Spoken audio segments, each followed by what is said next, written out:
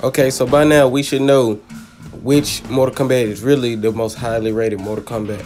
I know I joke around a lot about the last two being the best Mortal Kombat. As well, this is a more serious video, and in my honest opinion, this is the best Mortal Kombat. And I have multiple reasons to have this opinion. You know, the story mode, the gameplay, the uh, the content. But another reason, which I believe is so underrated, is they have good ass catchphrases. And I know some think MKX's phrases were better because they were actually directed towards somebody, they were actually interactions.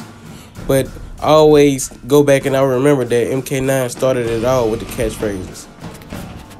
And since I have yet to find a top 10, top 5, top whatever Mortal Kombat phrase list or whatever y'all want to call it, I'm doing my own and giving my own opinion of which ones I think is the best. So here goes.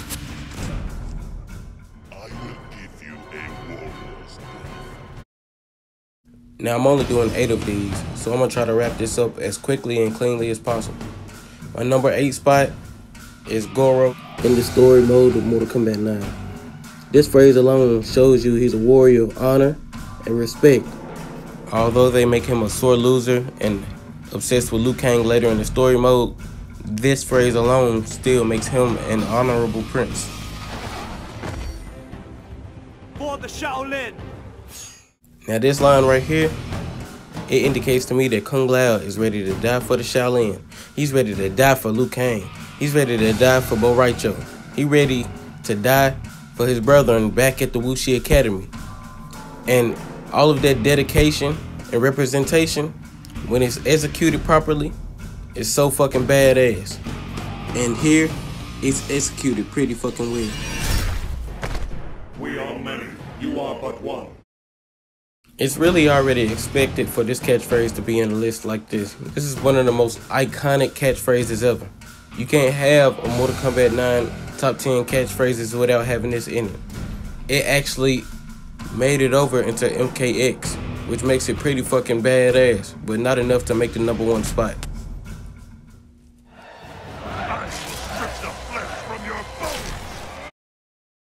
Hearing a deity such as Raiden get so fucking pissed over the death of a mortal, it shows you the bond that he has with Kung Lao and Liu Kang. It shows you that bond. It also shows you a darker side to Raiden. He's so fucking pissed he's willing to kill Shao Kahn right now. He's not supposed to participate in Mortal Kombat or any of the tournaments.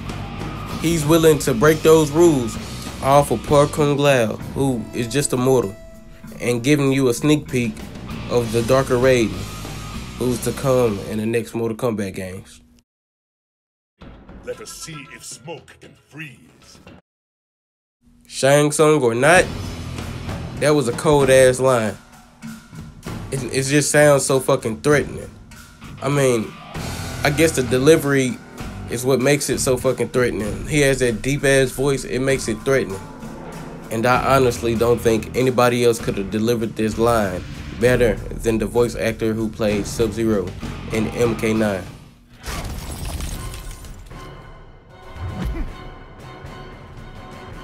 Now you will feel death's cold embrace. Now, believe it or not, I'm actually more of a Scorpion fan than a Sub-Zero fan.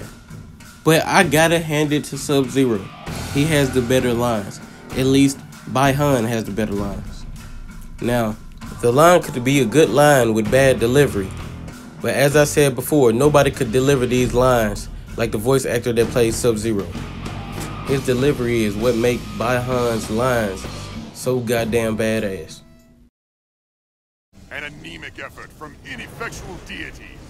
Today, I become the Elder God.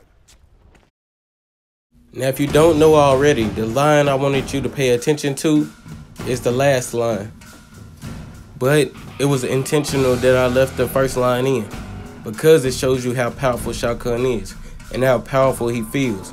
He feels untouchable right now. So the last line has so much more meaning when he said it. This is a powerful structure in words. When he delivers the line, it sounds like he's been waiting to say that for so long because of that strong performance by his voice actor. We are the stealthful than the night, more deadly than the dawn.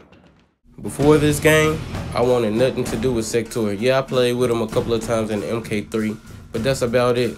I didn't really care for him. But after this game, I see that he's the most dedicated Lin Kuei out of all of them, actually. Cyrax didn't even want to become part of the Cyber Initiative.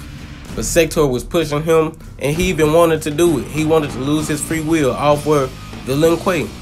This makes for a great story. I wish they would push this aspect more. I want to know what goes on in the Lin Kuei headquarters.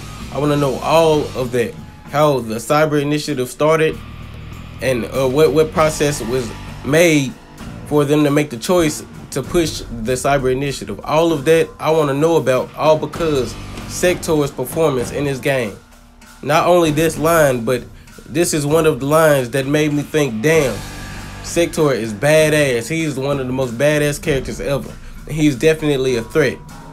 Making this one of the most badass lines in MK motherfucking history.